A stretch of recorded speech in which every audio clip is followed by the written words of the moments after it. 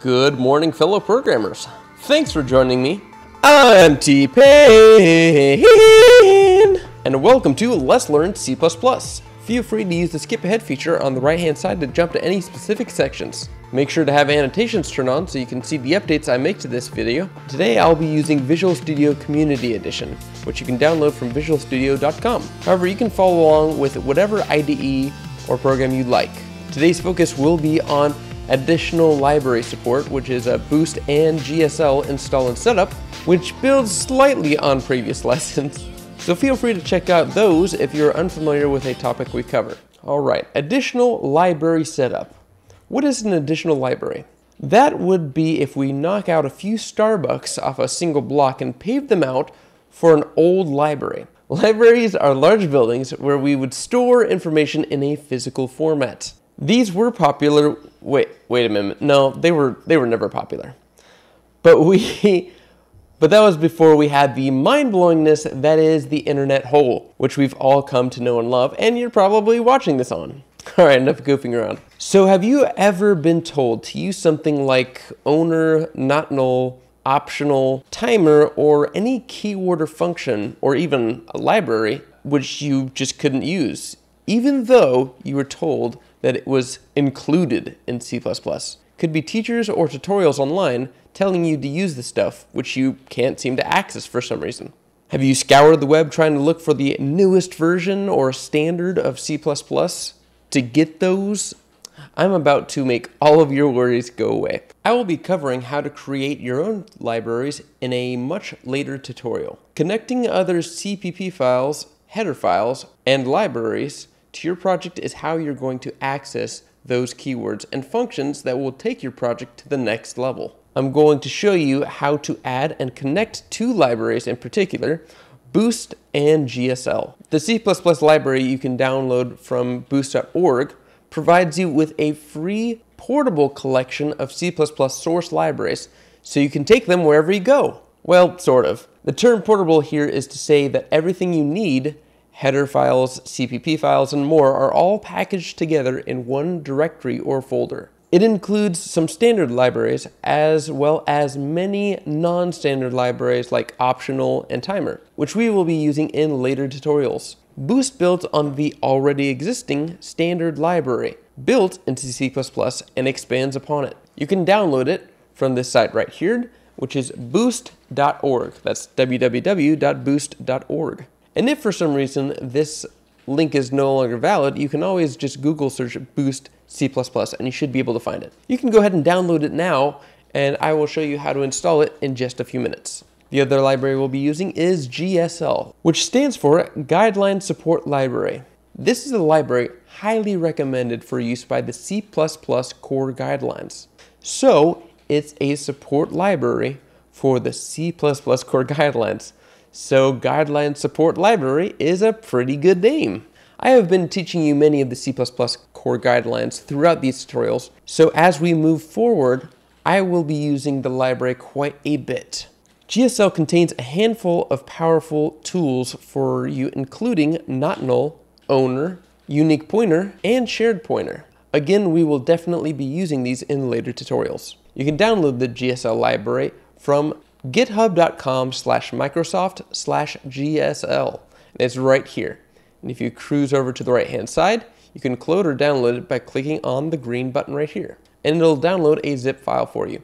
Okay, so now that you've downloaded both of these sets of zip files right here and here, Boost and the GSL master, let's get into the actual placement of these files. So once you go ahead and unzip each of these files, and you could do that if you're having trouble unzipping it, like for some reason Windows can't unzip it or whatever program or OS you're using can't unzip this, uh, you can download 7-zip or WinZip. Uh, those are the two primary zipping programs I use to zip and unzip files. So you'll unzip them into their master folders right here.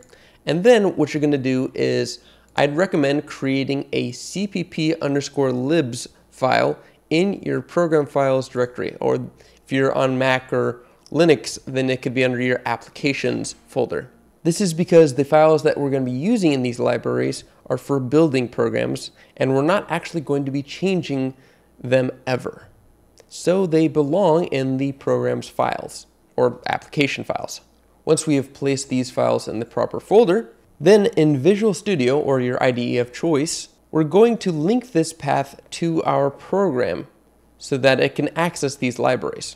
If you're not using, using Visual Studios, a simple Google search of adding C++ libraries plus your IDE's name or your program's name should give you the answer you're looking for. And if you have a good solution, please post it down in the comments below so that others can see. One important note is this linking of files is on a per project basis. It is not permanent, unfortunately. There's no way of binding it in Visual Studio to always point to those, those C++ libraries permanently. It's only on a per project basis. All right, so you can open the project you wish to connect these libraries to, or follow along with me as I create a new project.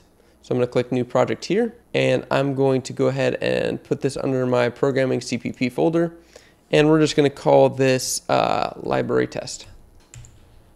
So now we've created our new project, and I'm going to go ahead and press Control Shift A to add a file, and we're just going to call this main. And here we go. I'm to go ahead and minimize that. All right, so the next thing we're going to do is paste in some code. Now this code is not to make much sense, but it will in just a minute. So I'm gonna go ahead and paste in some code. And notice immediately we're gonna start getting underlines for compiler errors.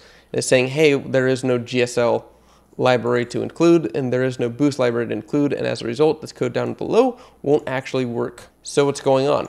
Well, let's go ahead and open our Solutions Explorer. And here on the right-hand side, we're going to right-click on Library Test.